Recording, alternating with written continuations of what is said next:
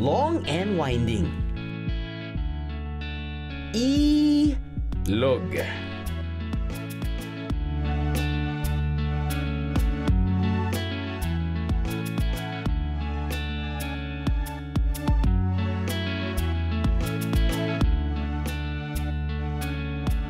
Parang buhay lang natin mga biyero. Tuloy-tuloy lang sa pag-agos. Kaya gaya ng ilog, dapat sumabay lang tayo sa daloy nito.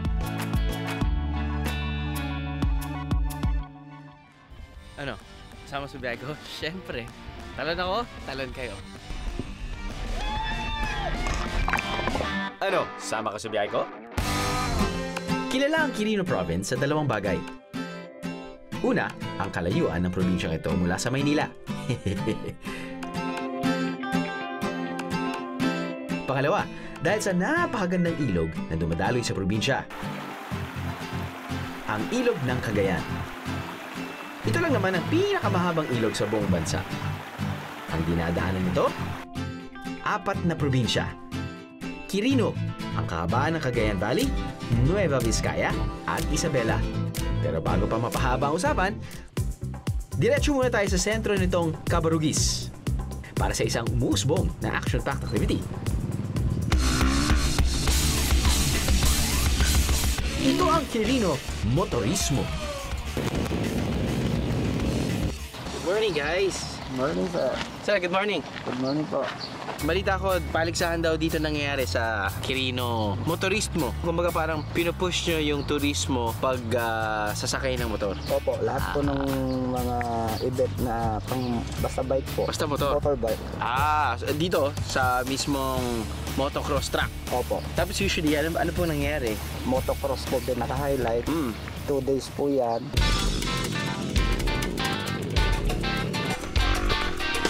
Dalawang araw na all about motocross ang taunang Quirino Motorismo. Bakit ba nila naisipang gawin ito? Isa kasi itong pagpupugay sa motorsiklo na isa sa pangunahing transportasyon dito sa Quirino. Ayos, di ba? Kasi nga may mga... May habal-habal din. Opo, yung may mga sako po. Kasi yun yung po yung kwan ng way ng transportation sa bundok po na Opo. yung mga produkto nila. Tapos nun, ano yan, pa padamihan ng load o So, ganun pabilisan? po. Dadamihan po, galing po ng kwan. Pero dito, competition. Ah, dito Ah. competition. Ah, tapos po yung drag race. May drag race din. Opo. Parehong motor din yung gamit. Ma- motor din po. Ah. Mga motor din yung Unity Ride. Tapos yun pong ating ah, endurance. At dahil wala akong dalang motorsiklo at protective gear, hinayaan ko na munang sila ang sumabak sa napakagandang motocross racetrack na to.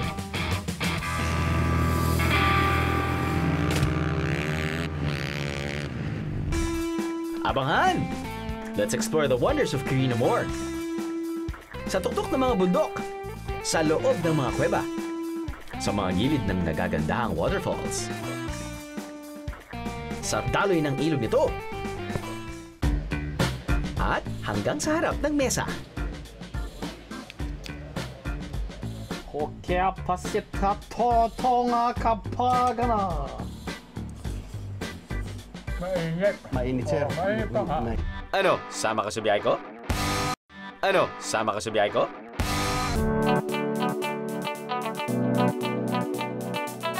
Sa Madela naman tayo, kung saan pwedeng-pwedeng magbabad sa falls. Ang maganda sa Madela, walang mahabang hike dahil ilang hakbang lang, tada! Falls na! Diretso pa yan sa mga natural pool.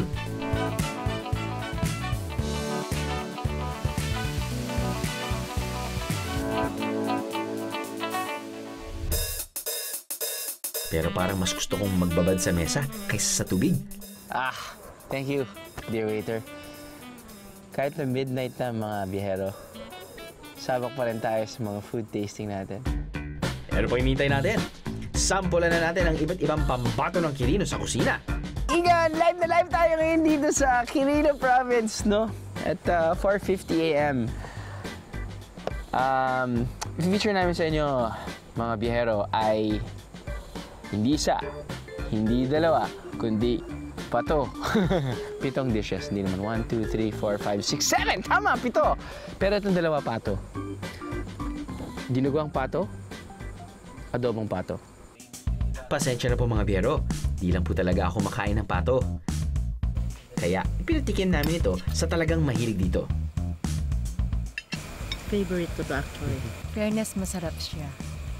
Ito mas crispy eh, than sa baboy. Ito, hamburger, mushroom na nasa plato. Ito, puso ng saging. At syempre ito, ako, et, feeling ko, 30 minutes na lang, titilaok na mga manok. Lalabas na yung araw, perfecto for breakfast. Ito yung tinatawag nilang tilapia na danggit. Guess mo kung anong pangalan. Correct. Tilanggit. Tilanggit. Saan kayo nakatikim ng tilapia na ginawang danggit? Pinaliit muna nila yung tilapia. Ligo nga dito! Ligo nga dito! Saan ka pumunta? Tapos nun, yan. Maalat. Siyempre, ganoon naman talaga yung dried fish. Kaya pag i-compare mo sa mga ibang danggit, ito malaman. At may asim. Maalat at may asim. Parang hindi mo na kailangan i-dip sa suka. And for dessert, Moringa. Ang sinasabi nilang the wonder vegetable. Mukhang blue cheese, pero hindi. At walang lasang moringa. Jam-packed lang with nutrients. Kinukulit ako ng aking nanay. May sakit ka? Moringa. Iya. Wala lumalabas na gatas. Kumain ka ng moringa. Oh, may sabon ka? Hit-hitin mo tong moringa na to. Hindi kayo yung boss ng nanay ko, by the way. Parang ginagawa nila sa pandesal, di ba? Ang dami ko na nakikita mga malunggay or moringa. But yeah, dali kasing i- i-grow. And it's really nutritious. So they say. Ito ay moringa ice cream, but it's really vanilla ice cream packed with nutrients. Rice wine. Paborito to ni Ka Jerry. Binawasan na kayo. Nabawasan na eh. Ito talaga yung trip niya. tulad ng ibang Ilocano, ang aming assistant cameraman na si Daniel ay hindi na bago sa tapoy o rice wine. Gawa ito sa bigas na binuro ng tatlo hanggang limang araw. Ito ang natural na pampainit ng katawan ng mga Ilocano sa kabundukan at kadalasan daw itong iniinom kasamang barkada. Tagay ng tapoy lakay!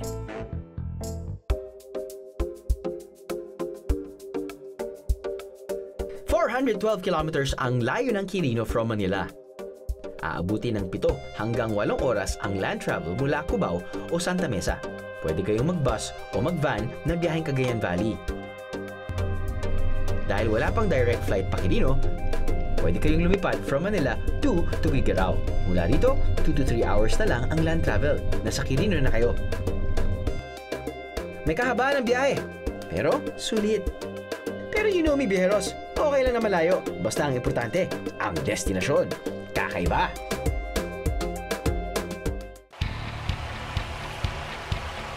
Umpisahan natin sa Quirino's Pride, ang Governor's Rapids.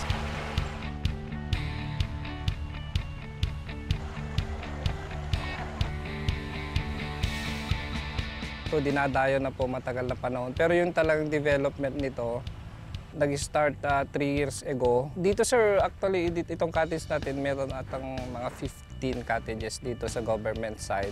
Ang rent, rent po dito is 300 per cottage po. Babayad lang po ng 160 yung per guest po. So may experience na po nila yung ah, almost 2 hours na river experience.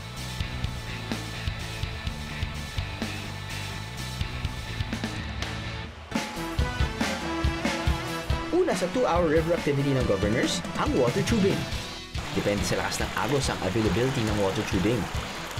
Swerte lang na medyo umulan noong gabi, kaya medyo maganda ang agos ng tubig.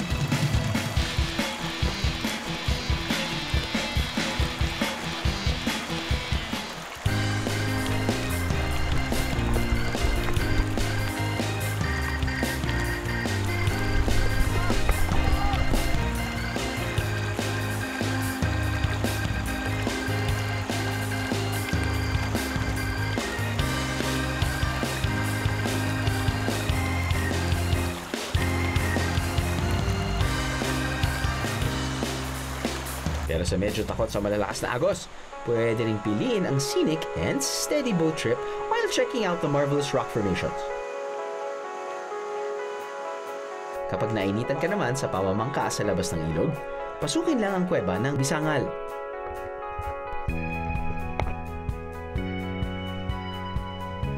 Sa loob ng kuweba, may malamig na bukal. Talaga namang refreshing.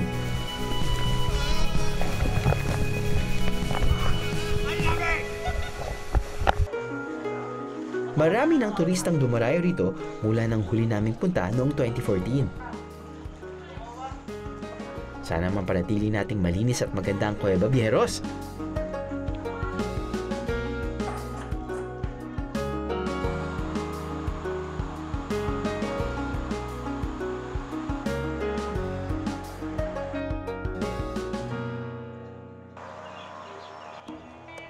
Bitin pa kayo sa river experience at naghahanap pa ng adventure, I suggest go cliff jumping by the beautiful rock formation. Make sure na may kasamang guide kung aakyat sa cliff jump site, okay? Importante rin na marunong lumangoy ang sino mang tatalon. Safety first.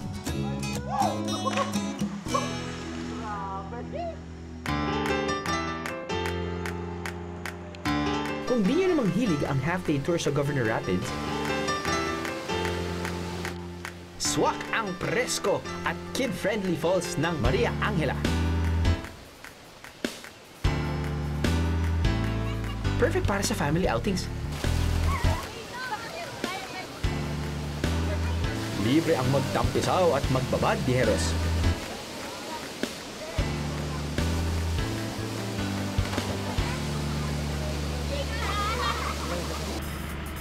Mapagod ka man sa maghapong activities, huwag kabahan dahil dito sa Quirino may pansit kabagan.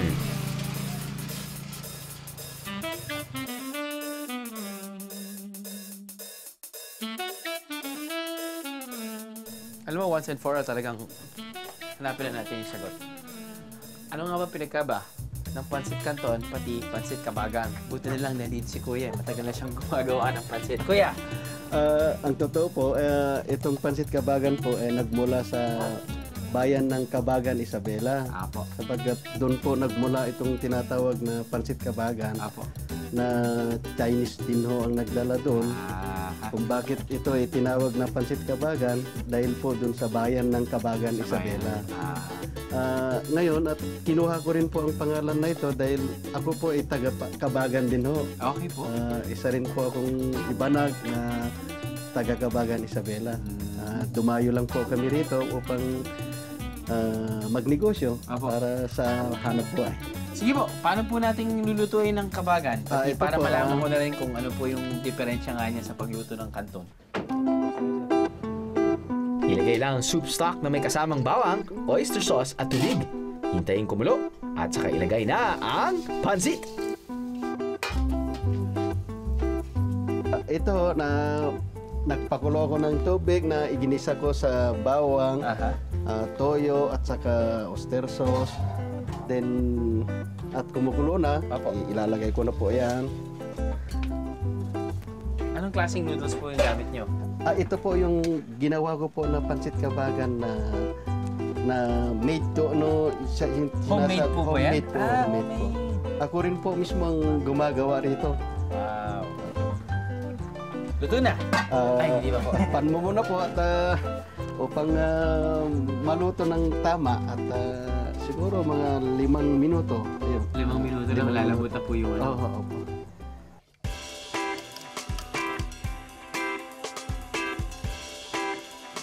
You heard it! Si Mang Jay ang gumagawa ng sarili niyang noodles. Isa pang kaibahan ng pansit canton at pansit kabagan, ang pansit kabagan ni Mang Jay walang preservatives.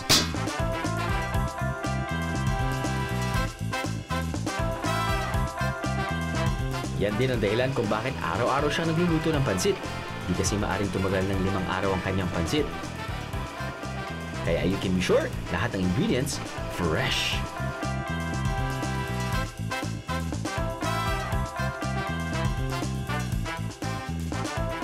The fresher, the better.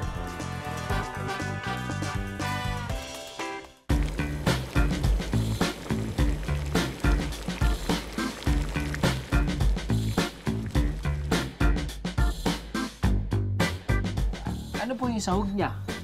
Uh, ito na po, uh, ang inihanda ko pang sahog niya ay pinaghalong nahiwang uh, carrots at saka itlog repolyo at meron siyang itlog at yung lechon kawali po na kami rin mismo ang nag-prepare niya. Ah. Okay, pasit ka to, to nga kapagana.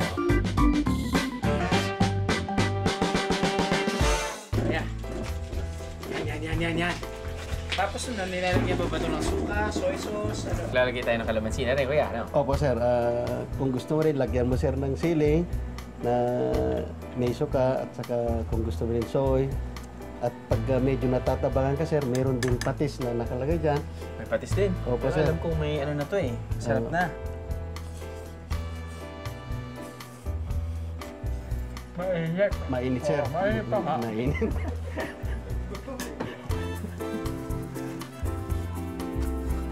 Parang kabagan na ako dito. sir, Kakabagan. Kinakauna kasi parang layo ninakbay namin. ah, sa totoo lang, yung mano-mano na paggawa kasi noon, eh, doon ko nakita na hindi pala na imimix ng gusto sir yung mga templa na inilalagay sa first class na arena dahil sa mano-manong paggawa. Pero nung nakakuha na ako ng Machine. machine po sir na mixer at doon ko na lang nilalagay lahat yung pinaghalo-halong Hindi mas mabilis pa yun. Ah, mabilis na nga sir at quality pa. Kaya naiiba na ngayon ang gawa ko sir. Yung noodles eh, yun yung, yun yung difference niya eh. Di ba? Sa totoo lang sir, ah, marami na rin nakapagsasabi na mula lalo na sa mga turista na marami na rin daw silang natikman na pansit kabagan na noodles. Ito raw ang naibang natikman nila na lasa.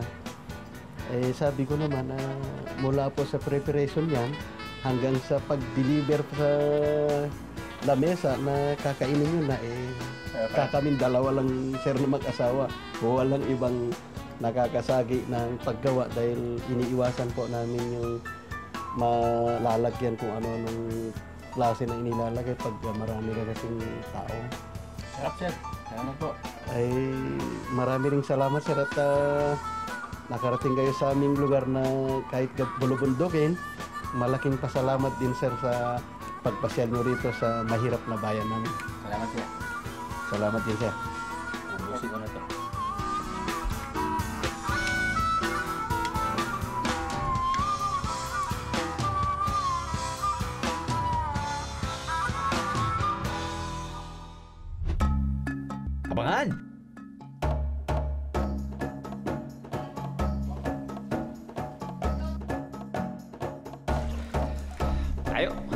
5 kilometers.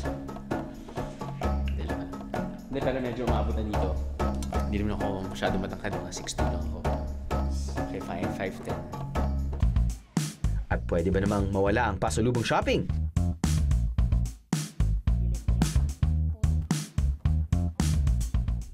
Ano, sama ka sa biyahe ko? Ano, sama ka sa biyahe ko? Anim na municipalities ang Quirino at ang common denominator ng bawat bayan yan, ang Ilog ng Cagayan. Napalilibutan ito ng nagagandahang mountain ranges. At sa kabundukan, iba't iba ang mga tanim. Dito sa parte na to ng Madela, may upland coffee. Handpick ang prutas ng kape mula sa mga puno nito. Matyagang pinipili at inibilad ang mga coffee bean.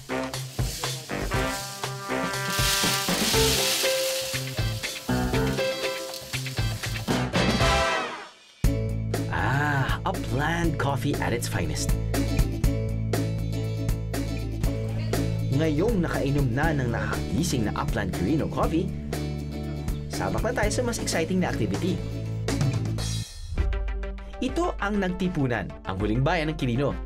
Dito rin makikita ang huling daluyan ng ilog ng Cagayan, ang Siitan River.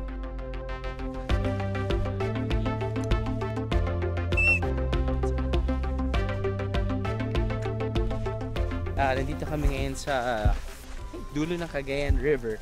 Ito ay ah, hindi pa namin feature itong side of Quirino. So, Nagtipunan. Noong unang panahon daw dito sa lugar na to, nagtitipon-tipon ang iba't ibang tribo gaya ng mga bungkalot mula sa kabundukan at tumagat mula sa mga tabing dagat at ilog. Ang ilang miyembro ng mga tribong yan, dito na nanirahan. Sa paglipas ng panahon, pati mga tribo ng Gadang, Pangasinense at mga Ifugao ay nakasali na rin. Isipin nyo lang, biheros, parang isang tribal general assembly. Oh, cool no? Tinatawag din itong nagtipunan dahil isa itong convergence zone ng probinsya ng Quirino. Nueva Vizcaya at Aurora. That's another TTT! Travel trivia time for you, biheros!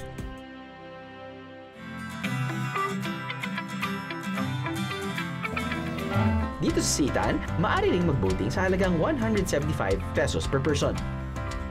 Sakay ng Balasyan o ang kanilang native boat na gawa sa Kalantas Wood. Tiyak, ramdam na ramdam mo ang agos ng Cagayan River. Pero kung mas gusto mong maging mas close sa ilog, water tubing ang dapat sa'yo. Here we go. Sakay ng salbabida. Susuungin natin ang ilog sa Itan. Kailangan lang ng karagdagang 100 pesos para naman makasakay ka sa water tubing. Huwag din kalimutan na magbigay ng tips sa mga guide.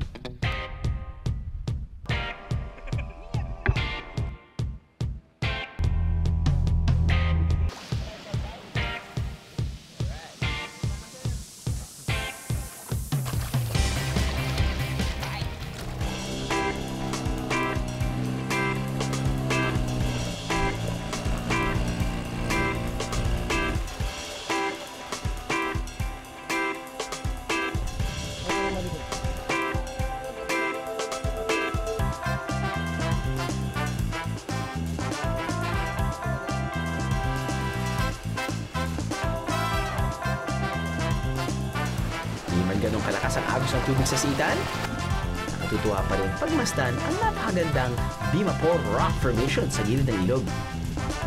At ang tatlong bibe na to,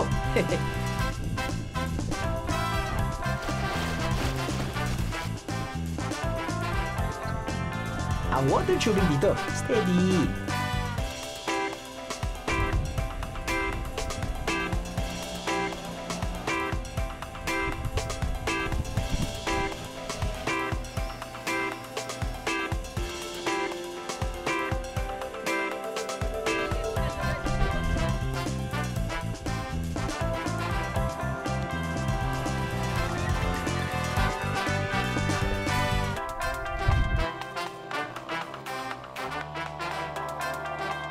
Kung mas gusto nyo pa ng adventure, may cliff jumping site rin sila. Nagpasample muna ang aking guide. Ano? Sama sa biyahe ko? Siyempre. Talon ako, talon kayo.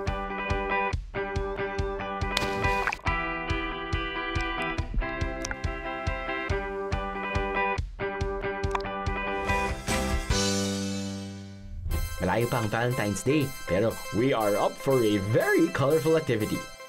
Yep, sa bakuran lang ng aling ito. Ay, magandang ah, umaga po. Gandang umaga, sir. Balita ko, eh, meron kayong ah, kakaibang ah, ginagawa pagdating sa mga halaman. Opo, sir, ito. Dahon ng alibangbang leaves. Dahon ng alibangbang leaves. Kasi nakita ko po sa sign nyo dito sa bahay nyo at Oo. shop po ba? Yes. Fossilized flowers. Oo, sir. A- ano po bang ibig sabihin ng fossilized flowers? Pinapaputi, sir, sa ano? Yung fossil. Fossil. Pinapaputi. Oo, pinapaputi.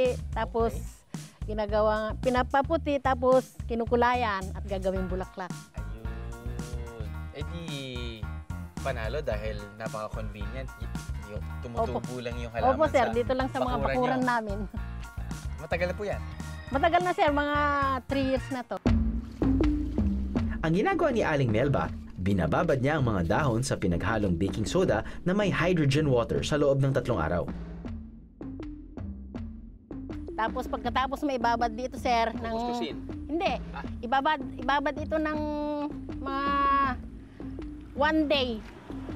Ibabad sa hydrogen.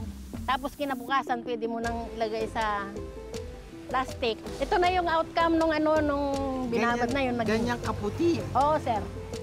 Basta i ano lang sa araw. Hanggang sa puputi siya. Ganito. Hindi siya ano, basta Parang hindi totoo. Oo, parang picture, sir. Para sabi nga nila, sir, paper, pero Parang hindi. papel, pero hindi. Dahon, oo, dahon siya. Sunod ay kinukulayan ng mga dahon para maging petals ng bulaklak. Nilalagyan ng mainit na tubig ang dye at saka nilalagyan ng suka. Sa dye, ibinababad ang pinutuyo at pinuputing dahon. Medyo mainit eh.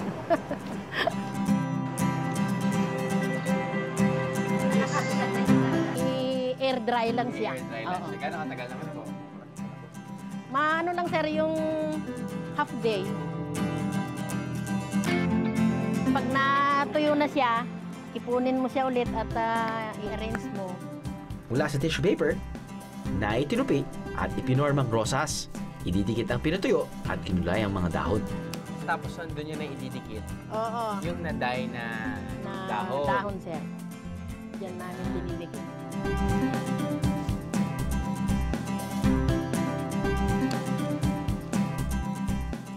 By mas side. okay to lalo na da- darating na Mother's Day. Oh, Yan yung ibibigay. Next Oh, year, yan ulit ibibigay. yan pa rin. Nakawin mo lang one week before. Pwede ba yung ganyan? Ana ikwata man yung electric pack. Tudot. Harden the flour up.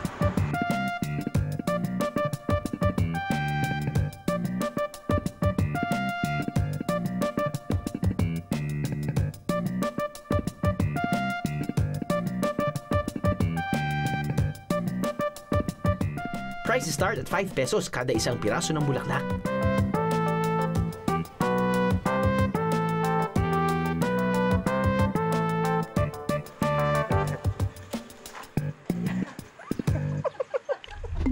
From flowers, bibigyan naman namin kayo ng diamonds. Ah?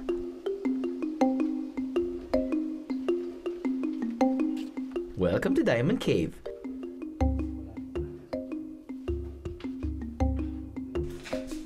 Kahirapan ng spelunking guys, so I suggest you come here prepared. Importante na may proper shoes at headlamps kayo. Huwag gayahin ng aking producer.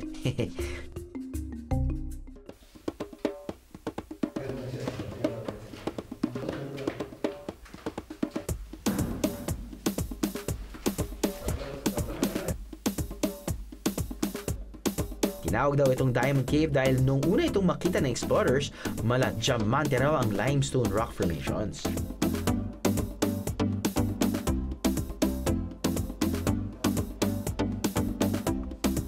Ah, ayun po dito sa mga na, nakakarating dito at na, pumapasyal, ang karamihan po dito kasi makikita yung mga ayun, mga rock formation na kumuputitap at parang perlas at may mga may kintab-kintab pa. Kaya yun po ang naging basihan para sabihan itong Diamond Cave.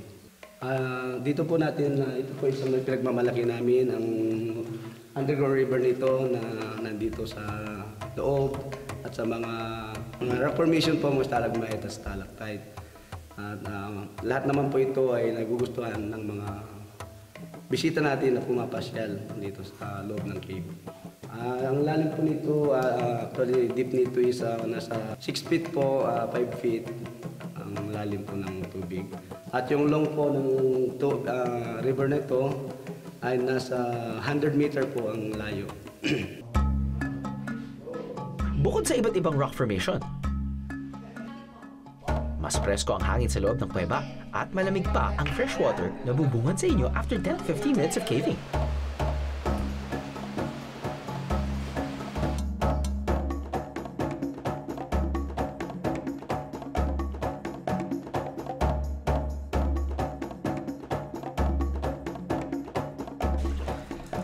Tayo, 5 kilometers.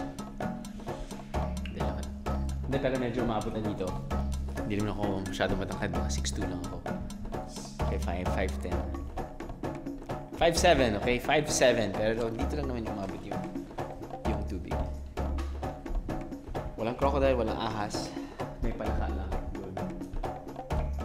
Ayun. Ayos. Welcome to the Batanes of Quirino. One last tip sa ating biyahe.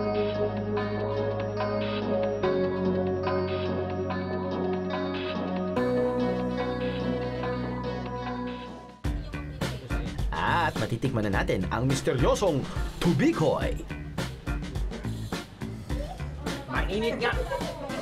Mainit nga. Iba talaga pag bagong huno. Nakakapasok. Nakakapasok. Ano, sama ka sa biyahe ko? Ano, sama ka sa biyahe ko?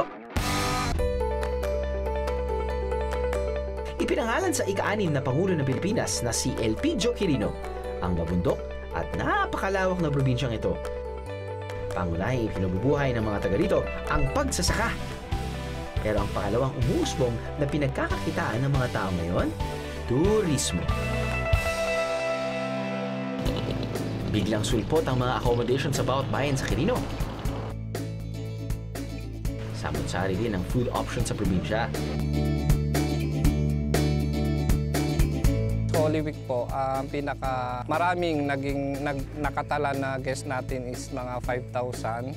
So yun po yung dumating na hindi lang po mga local tourist along the province kundi may mga nakarating po ah, galing Manila at ah, may isang guest po ako na, na i-briefing noon na taga Zamboanga po sila. Sino ba naman kasi ang di maaakit sa lugar na to sa nagtipunan Quirino mga biyero?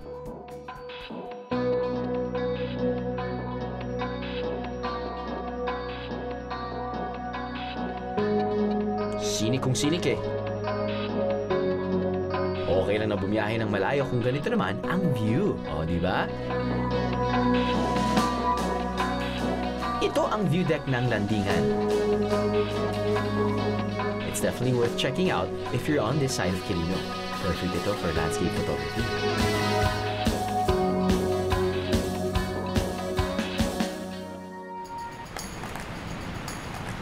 40 minutes away lang mula sa landingan, mararating naman ang isa pang pride ng nagtipunan, ang Mactol Falls.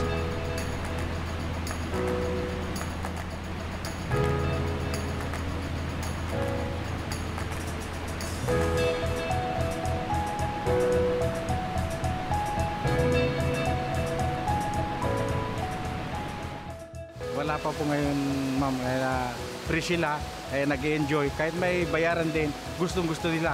Sulit na sulit ang magandang waterfalls. Actually, maraming falls dito sa Quirino, especially dito sa Nagtipunan, para dinidiscover pa, para pasyalan ng mga guests. Isa pang falls na maaari niyong pasyalan, ang Junuan. Mula ngayon, noon, marami ng taong dumadaan dito at namamasyal. Yung mga galing Aurora, galing na dagat, dito sila maghugas ng ah, tubig ah, ah, ng waterfalls na ito. Ang okay sa dalawang falls na ito sa nagtipunan, walang entrance fee.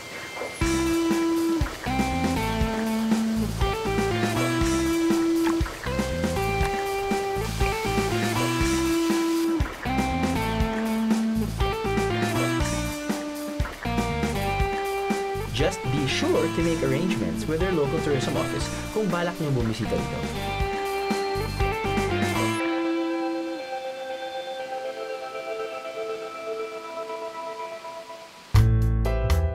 One last merienda stop bago bumalik ng Maynila. Pero di lang basta merienda ang hanap ko, kailangan ko yung mabigat na kakanin. At ang sabi, kailangan ko raw matikman ang tubikoy. Sounds interesting. Alright, so hindi tayo ngayon sa R&B. Ito yung tinatawag nilang pagkakamali. Pero pagkakamaling nakabuti. Nakabuti. Hindi lahat ng pagkakamali nakakasama. Correct. Oo, kaya namin na invento ito at kaya lumabas dito sa Pilipinas. Kasi hindi ba sa atin pagka New Year time naggagawa tayo ng iba't ibang klase ng handa. Ngayon, naisip namin ni Mrs. kung mo ang una namin ginagawang product dito ay bukupay. Ngayon, sabi namin gumawa tayo ng tupig. Ngayon, kaya ko sinabing hindi lahat ng pagkakamali nakakasama. Nagkamali doon sa pag ano na, paghahanda na. Hindi na mabalot. Oo, dahil nagkamali na nga doon sa pagtimpla. Ah, kung mayroon kaming plate na pinaglulutuan ng buko pie at oven, eh, nilagay namin doon. Mat- Matikman, ni, parang iba ang lasa. Ngayon, ano kaya kung lagyan uli natin ng ganito? Ayun, at dagdag kami ng ibang ingredients niya. Ano po yun? Kaya yun yung ah, naging bibingka na siya. Tapos, titikman uli namin. dagdagan pa kaya natin ng ganito. Yan. Ingredients na ng tikoy.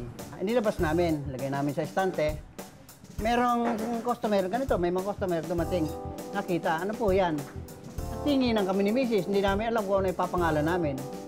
O, ngayon, de, sa basta sa amin namin, bibingka lang yan. May natira O, may natirang isa. Sa madali sabi, yung nagawa na yung lahat, na benta. Benta. Tinikman nyo. Tinikman namin. Aba, okay pala, sabi namin. Pinangalanan na namin siya ng tubikoy. Tupig, bibingka, tikoy. Ganon ang naging istorya niyan. Usually, uh, ano na siya? Registered na, nung mag-register na kami sir sa DTI, yan ang niregister. Pinangalanan na namin ng tubikoy.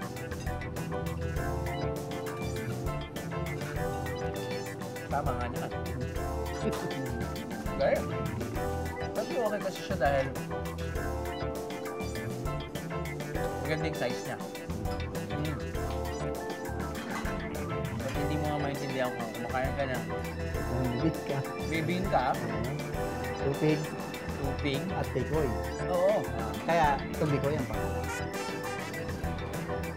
Pero importante may keso. Yung pa Papaalam. At dahil tatagal ng tatlong araw ang tuwikoy, pwedeng pwede itong pampasalubong. Sa halagang 65 pesos for one box, sulit!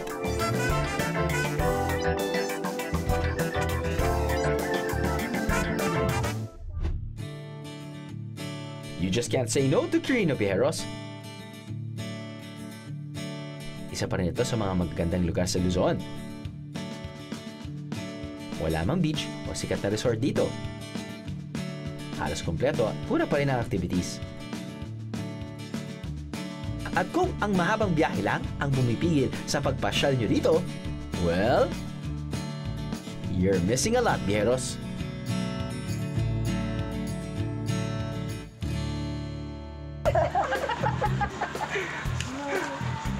Magikero.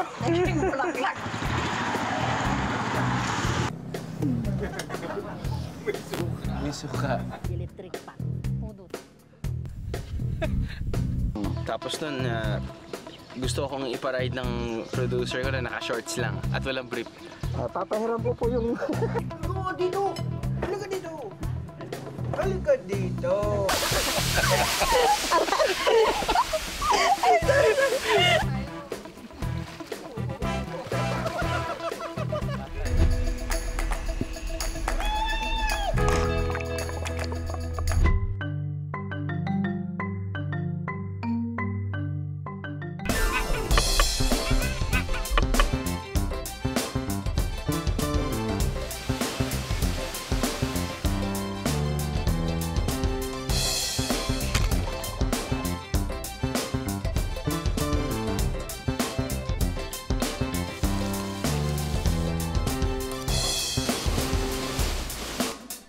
Sama ka sa biyahe ko?